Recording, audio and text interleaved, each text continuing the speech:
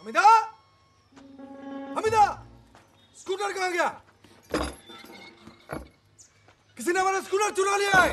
या खुदा अब यही होना बचा था। किसी माधर जात ने मुझे बर्बाद करने की ठान रखी है। अब चिल्लाने से स्कूटर वापस आने से तो रहा। थाने में जाकर रपट लिखाओ।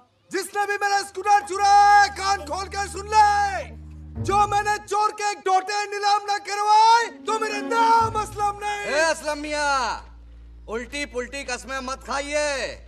आपके नीलाम हो जाएँगे। ये फतेहपुर है। तूने